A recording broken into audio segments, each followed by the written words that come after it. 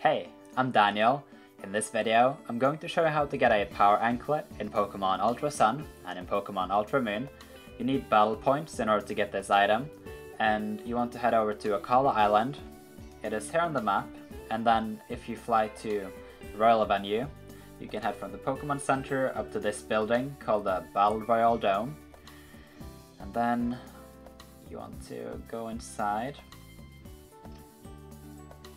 and run over to this lady right here.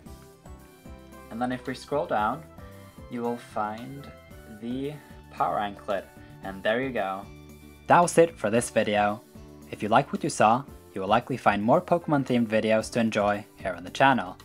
I recommend having a look at the best videos playlist, or to listen to some music by Mesmonium. Thank you for watching this video.